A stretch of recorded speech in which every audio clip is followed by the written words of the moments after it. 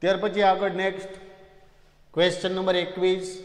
શા માટે ઉષ્ણકટિબંધીય પ્રદેશમાં જૈવ વિવિધતા, સજીવ વિવિધતા, એ સમશીતોષ્ણ કટિબંધ કરતા ઊંચી હોય છે? એ આપણે સમજાવવાનું છે.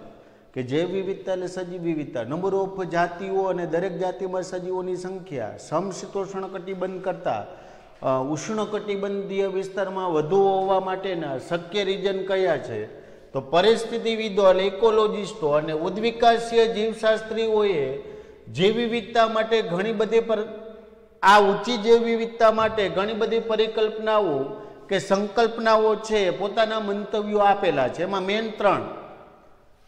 જાતિ ઉદ વિકાસ સામાન્ય રીતે જાતિઓનો વિકાસ થવો એ સમયનું કાર્ય છે અને સમશીતોષ્ણ કટિબંધમાં, ભૂતકાળમાં વારંવાર હિમપ્રપાત થયો છે.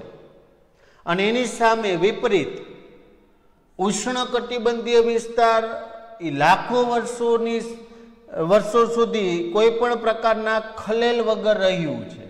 અને આ જ કારણના કારણે જાતિ ઉદ્વિકાસ માટે લાંબો ઉદ્વિકાસીય સમય એ પ્રાપ્ત થતો હોય છે.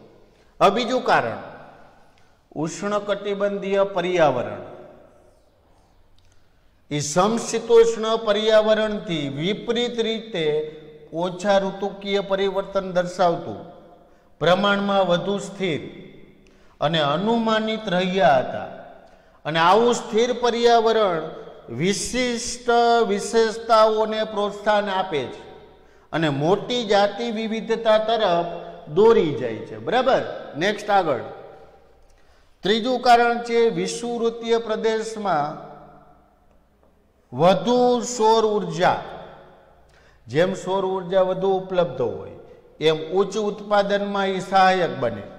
અને એ ઉચ્ચ ઉત્પાદકતા છે એ આડકતરી રીતે મોટી જૈવ વિવિધતાના સર્જનમાં પોતાનો ફાળો આપે છે. ત્રણ માર્ક્સમાં હોય, એટલે આ લખવાનું એક માર્ક્સ, આ લખવાનું એક માર્ક્સ, ને આ લખવાનું એક માર્ક્સ. એકદમ ઇઝી છે.